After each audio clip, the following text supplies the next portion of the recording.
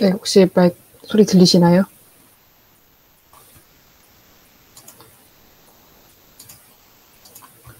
네, 그럼 발표 시작하도록 하겠습니다. 저는 이미지 처리팀 발표를 맞은 김, 김현진입니다. 제가 오늘 발표할 논문은 2021년도 12PR에서 오랄 발표로 소개된 호터라는 논문입니다. 발표에는 이미지 처리팀의 김병현, 김선옥, 박재환, 안종식, 이찬혁, 현정천, 홍은기님께서 도움을 주셨습니다. 먼저 HOR 디텍션은 기본, 기존 object detection과 다르게 사람과 물체 간의 상호작용을 탐지합니다. 왼쪽의 object detection은 단순히 물체 또는 사람을 찾고 그 종류를 분류하는 반면 오른쪽의 HOR 디텍션에서는 물체와 사람을 localize하고 classification한 후 그들 간의 상호작용, 즉 interaction association을 찾는 과정이 추가되어 있습니다. 최종적으로 HOR 디텍션의 목표는 사람, 물체, 상호작용 이 세 가지의 쌍인 triplet을 찾는 것을 목표로 합니다. human object interaction detection task는 하나의 이미지에서 인간, 물체, 상호작용 triplet을 예측하는 task로 단순 object detection보다 이미지 scene에 대한 더 높은 수준의 이해를 요구한다고 볼 수 있습니다.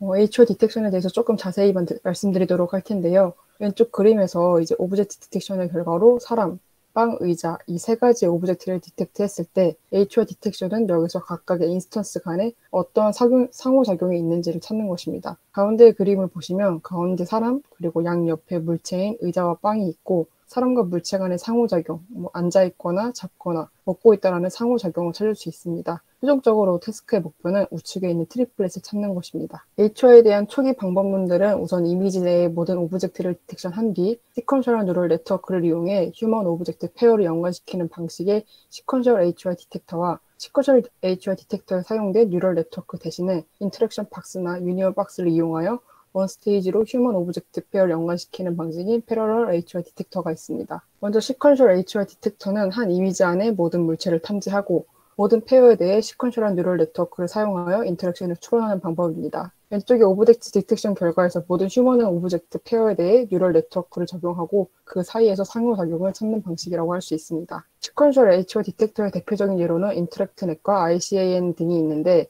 먼저 ICAN에 대해 말씀드리자면은 이 논문 attention map을 이용하여 interaction 탐지 효과를 높인 논문입니다. 사람과 물체의 형상이 어떠한 영역에 있는지를 활용하는 방법으로 즉 사람의 외형적 특징과 함께 동작을 인지하는 알고리즘을 사용해서 보다 정확한 상호작용 추론이 가능하도록 했습니다. 다른 말로 풀어서 설명해 드리면 사람이나 물체의 appearance가 각각 이미지의 어떤 부분과 관련이 있는지에 대한 단서를 attention map을 이용해서 해결한다는 방식입니다. 그 attention map을 만들기 위한 방법으로 ICAN의 저자는 bounding 박스뿐만 아니라 왼쪽에 나타나 있는 human 포즈, secondary region 같은 특징들을 추출하고 이를 통합하여 attention map으로 사용하는 방법을 제안했습니다. interaction을 정확하게 추론하기 위해 attention map을 생성하는 것 자체를 end-to-end로 학습하는 네트워크가 있어야 된다고 주장했으며 instance centric attention 네트워크를 제시했습니다. 또 다른 시퀀셜 HR 디텍터의 대표적인 예로는 InteractNet이 있습니다. InteractNet은 하나의 이미지에 사람과 물건이 있을 때 어떠한 액션, interaction을 취할 수 있는 취할지 예측할 수 있는지 또한 한 이미지 안에 한 사람이 여러 물건과 interaction할 경우 그 물건들을 어떻게 찾을 것인가에 대한 문제점을 제시하고 이에 대한 해결 방법을 제시했습니다. InteractNet의 저자는 새로운 InteractNet이라는 네트워크를 제시하면서 이 InteractNet을 통해 triplet마다 triplet 스코어를 구하며 이 triplet 스코어이 높은 것에 대해 이미지의 bounding 박스로 나타내도록 했습니다. InteractNet의 구조를 간략히 보면 총 3개의 branch로 구성되어 있으며 각각 object, human centric, interaction branch입니다. 이게 보이는 대표 그림에서는 이게 각각 parallel한 parallel하다고 나와 착각하실 수 있는데 실제로는 가장 sequential한 방법으로 이루어졌다고 이해하시면 좋을 것 같습니다. 음. 그래서 이 InteractNet은 이 세 가지 branch에서 얻은 loss function의 합을 이용하여 triplet을 결정하고 이와 같이 sequential HOI detector는 직관적인 파이프라인을 가졌다는 장점은 있지만 pairwise neural network를 사용하기 때문에 시간이나 계산 비용 측면에서 비효율적이라는 단점이 있습니다. 패러럴 H와 디텍터는 투 스테이지인 시퀀셜 H와 디텍터의 단점인 시간이나 computational cost 비용을 개선을 이루어내기 위해 제안되었습니다. 패러럴한 H와 디텍터는 기존의 모든 객체를 탐지한 후 neural network를 이용하여 모든 paired의 interaction score를 찾는 기존 방법을 neural network 대신에 interaction box나 union box를 이용하는 one stage 방식으로 전환했습니다. 이는 성능을 유지시키는과 동시에 어, inference time을 크게 감소시켰다는 장점을 갖고 있습니다.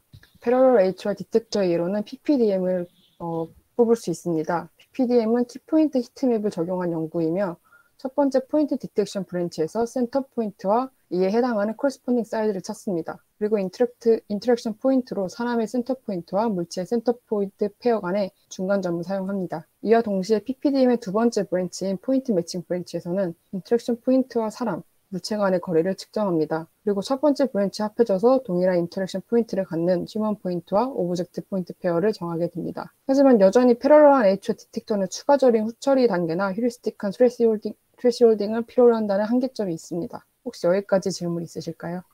네, 그 여기까지 말씀드렸던 HO 디텍터에 대해 간략히 정리해 보겠습니다. sequential detector는 말 그대로 연속적인 구조를 갖고 있기 때문에 매우 직관적인 파이프라인을 갖고 있는 two stage method입니다. pairwise한 neural network를 사용했으나 복잡도가 높고 inference time이 길다라는 단점을 갖고 있습니다. parallel detector는 region of interaction이라는 개념을 도입해 sequential detector의 neural network 구조를 IOU나 distance, union box 등을 이용하여 inference time을 개선했습니다. 하지만 두 가지 방법 모두 먼저 물체를 탐지한 후 후처리 과정을 수행한다는 간접적인 방법으로 bottleneck 문제나 후작업이 필요하다는 단점을 갖고 있습니다. 이를 개선하기 위해 오늘 소개해드릴 호터의 저자는 트랜스포머 기반의 HOI 디텍터를 제안했습니다.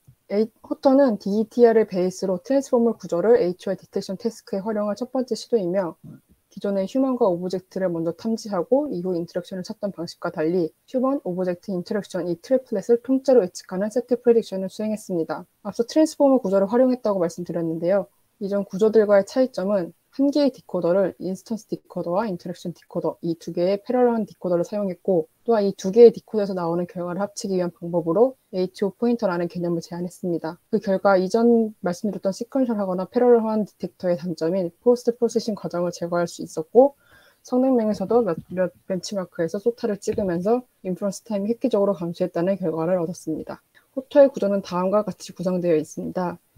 어, 기존 DETR과 비교를 하자면 feature extraction과 인코더 디코더를 구쳐, 거쳐 아웃풋이 나오는 구조는 동일합니다. DETR에서는 N개의 object query를 받아 N개의 bounding box class pair를 아웃풋하는 구조이며 HY는 프레딕션 헤드에서 휴먼 오브젝트 인터랙션, 이 트리플렛 페어를 아웃풋하는 구조로 차이점이 있습니다. triplet을 내보내기 위해 기존 하나의 DETR의 하나의 디코더를 어, HOTR에서는 instance와 interaction decoder 두 개를 적용했습니다. 다시 HOTR의 구조를 쳐보자면 처음으로 인풋 이미지를 CNN 백본을 통해 적당히 처리된 feature map을 얻습니다. 또한 이 feature map은 positional embedding과 합쳐서 shared encoder에 입력됩니다.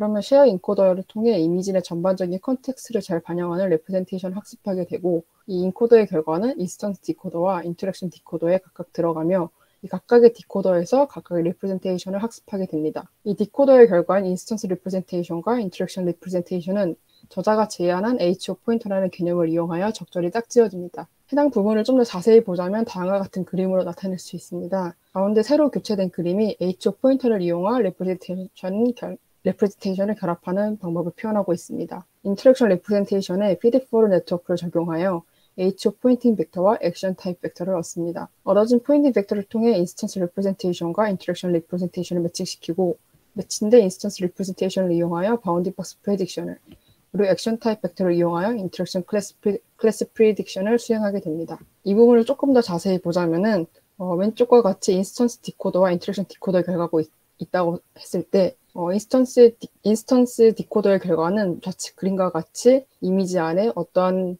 object나 human이 있는지 각각 bounding box를 통해 나타나 있는 결과입니다.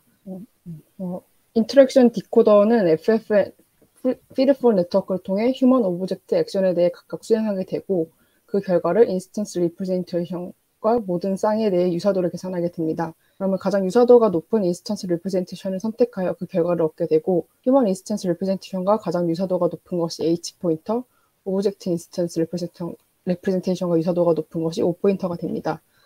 그림을 보고 설명을 드리자면은 어, interaction decoder에 각각 이게 네 개의 결과가 나왔다고 했을 때 첫 번째 representation에 대해서 feed forward network를 human, object, action에 대해서 각각 수행하고 이 수행된 결과를 instance decoder에 있는 이 파란색, 주황색, 어, 빨간색과 각각 유사도를 매칭을 하게 됩니다. 그럼 유사도가 가장 높은 하나의 인, 하나의 representation이 나오게 됐는데 여기서는 A 빨간색이 가장 높게 나왔고 그 결과 박스에 표현하게 되면은 어, human은 이 이미지 안에 human이라는 빨간색 박스를 가리키고 있다 해서 이게 H 포인터가 되고 이와 동일하게 object에 대한 feed-forward network 결과의 representation은 bread라는 object에 대한 결과를 나타내게 됩니다. 이거를 모든 interaction decoder 결과에 대해 정리를 하면은 다음과 같은 결과를 최종적으로 얻을 수 있습니다. 이러한 결과를 통해 H 포인터가 인스턴스 디코더와 인터랙션 디코더의 결과를 결합하게 됩니다. 이 결과로 최종적으로는 아래와 같이 triplet set을 구성할 수 있습니다. HO 포인터를 이용해,